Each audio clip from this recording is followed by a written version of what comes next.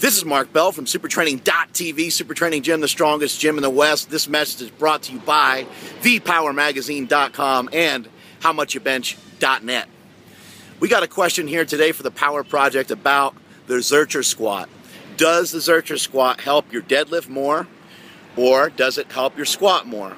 First of all, let's talk about what the hell a Zercher squat is. Uh, Louie Simmons of Westside Barbell has invented a Zercher squat harness that makes a Zercher squat easier. But basically, a Zercher squat sits in the crooks of your elbow. The barbell will normally sit in the crooks of your elbow unless you're utilizing the harness. And then the barbell will be resting on the harness, almost like a front squat harness, except for it rests a little bit lower. There's some different points on it.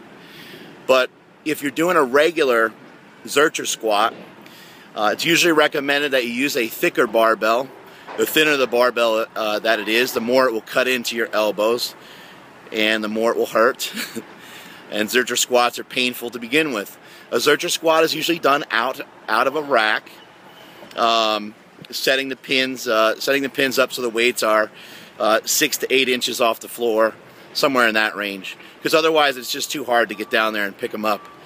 Some people can, but 99% of the population really can't. So you're going to hook the weight into the crooks of the elbow here. You're going to get underneath the weight, and then you're going to try to squat that weight up with a fairly wide stance.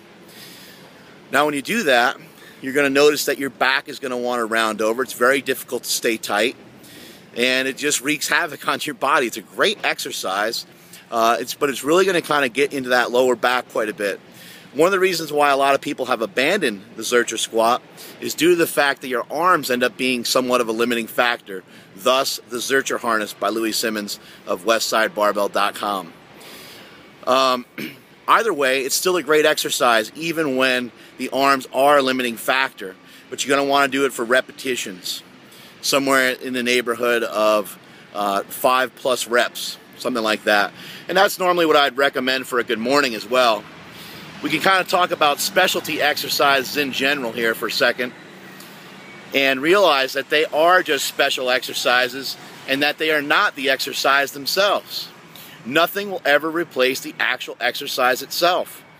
I sometimes refer to uh, the second movement that I do for the day as a secondary barbell movement. But really, the truth is, if it's secondary, why bother doing it in the first place unless it's a priority? So anyway, um, secondary barbell movements are very effective because normally when I do them, I'm taking the first exercise and I'm either making it more challenging by adding reps or making it more challenging by increasing the range of motion or uh, adding some sort of overload to uh, adding some sort of overload method such as a reverse band, a slingshot, uh, or a partial range of motion, a higher box, uh, deadlifting off of, uh, uh, you know, having the weight set up on blocks and, and things of that nature. So always realize that nothing will replace the actual exercise itself, and nothing can mimic the actual exercise itself uh, quite as well as the exercise itself. So in the case of like, let's say a squat, how do I prevent my butt from shooting up in the squat? There are special exercises that you can employ, that you can utilize, that'll actually help quite a bit. However, nothing will help more than actually squatting. How do you get better at squatting? Squat more. How do you get better at deadlifting? Deadlift more. Now, on the other hand, there's only so much deadlifting and squatting you can do. And part of the beauty of exercises that are not done with a barbell is the simple fact that it's an exercise that's not done with a barbell such as, uh, you know, say like banded good mornings or GHRs or um, lat pull downs or seated rows. These are exercises that are not as harsh, not as demanding on the body. But are they some sort of great recipe for getting stronger? Not really. Has anyone ever really gotten stronger from doing lat pull downs? Not unless you're like a 75 year old woman and have no strength to begin with. Um, the beauty of barbell exercise is that they are barbell exercise and that they are brutal and that they are demanding. And that's what makes you strong. The, the more brutal something is, the less safe it is, the better opportunity you have to get stronger in a lot of cases. Not all the time, you don't have to go too crazy with that. You don't need to kill yourself in the gym, but so the point is you're going to need a little bit of balance. between the barbell exercise and the specialty exercises. Something in the case of like a Zercher squat, does it help your deadlift more than it helps your squat? It's a difficult question to answer, uh, and I would have to say that that would be a highly individual thing. So, if you're uh, if you're weak at it, I would work at it because it means that there's a lagging body part somewhere, and by working on it, you can help bring up that body part.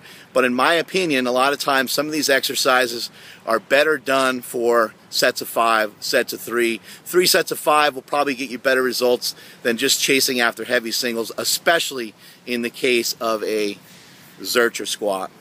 So for you, will it help your deadlift more than it will help your squat? I'm not sure. Try it out, see if you like it and uh, and report back to me. That's what the Power Project's all about. I'm taking feedback from you guys and um, putting it in old in the old giant fat dome up here, mixing it up, and then spitting it back out and sharing it with the world. Embrace your fears and protect your dreams. Follow through on your dreams, and that is it from SuperTraining.tv. Later.